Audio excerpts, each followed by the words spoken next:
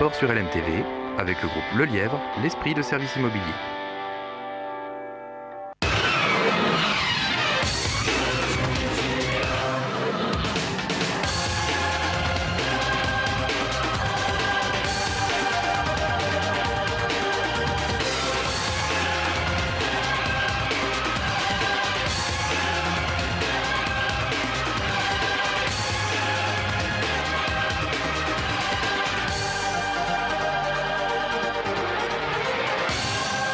Ravi de vous retrouver toutes et tous pour euh, ce nouveau JT des sports en ce lundi euh, 12 octobre. On va débuter sans plus attendre avec l'un des événements euh, de ce week-end, à savoir le coup d'envoi de la saison en cyclocross. Direction pour cela Parigny-l'Évêque. Alexandre Fort sur des images d'Amoun Chamsoudine.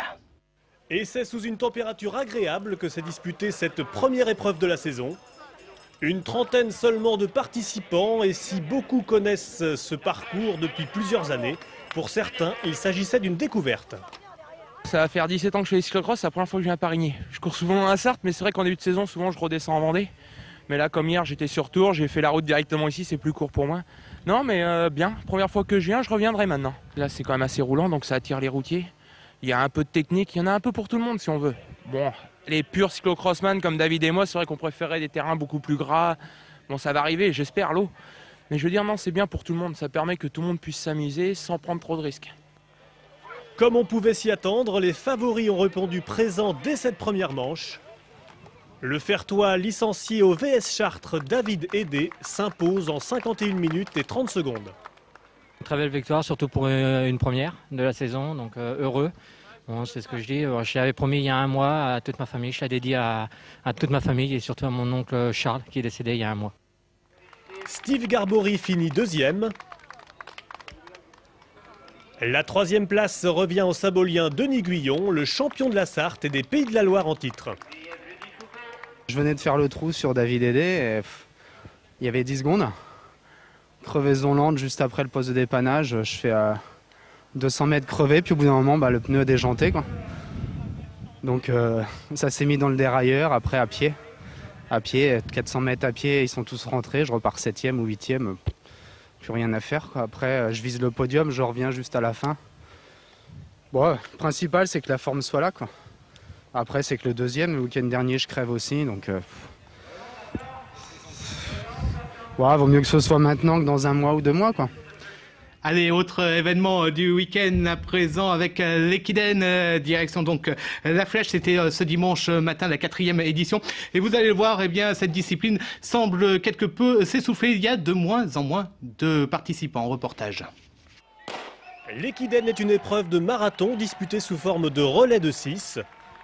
Le premier relayeur effectue 5 km, le second 10, puis de nouveau 5, 10, 5.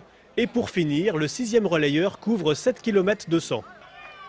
La plupart du temps, une stratégie est donc mise en place par les équipes pour attribuer tel ou tel relais. Ça se fait un petit peu euh, selon les sensations de chacun.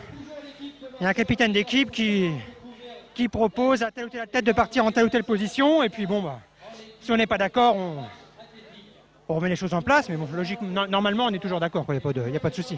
Le, but principal, c'est de représenter l'équipe. hein. Je suis euh, le moins rapide de l'équipe, donc j'ai plutôt fait un 5 km pour faire perdre moins de temps à l'équipe. quoi.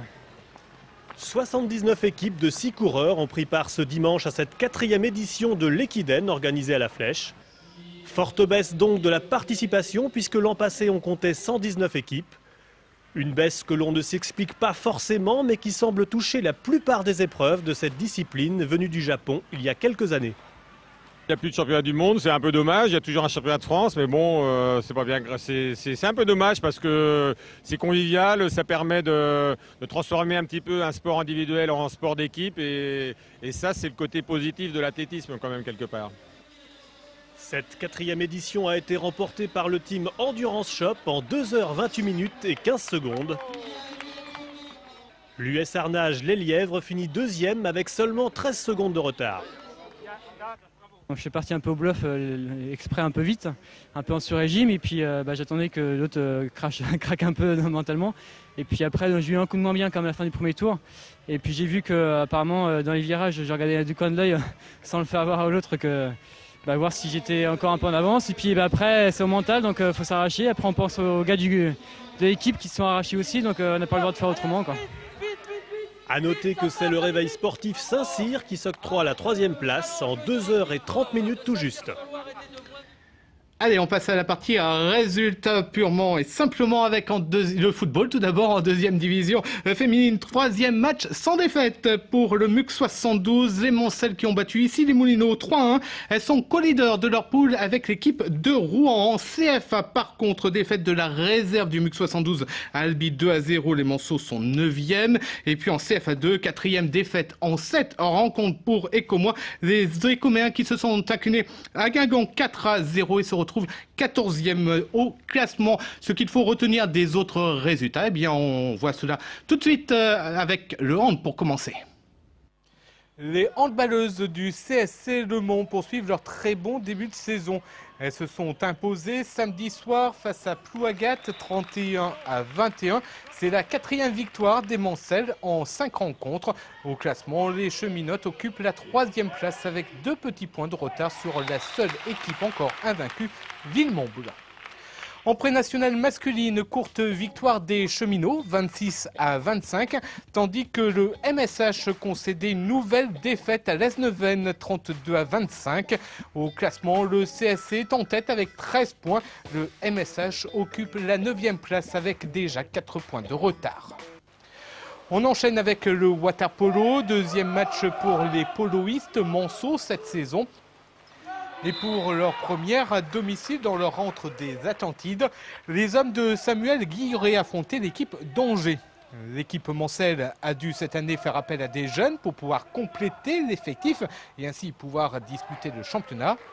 Parmi tous ces jeunes, Félix Le Guy, il évoluait jusque-là au niveau régional avec le CNM. Alors, qu'est-ce qui a changé cette année?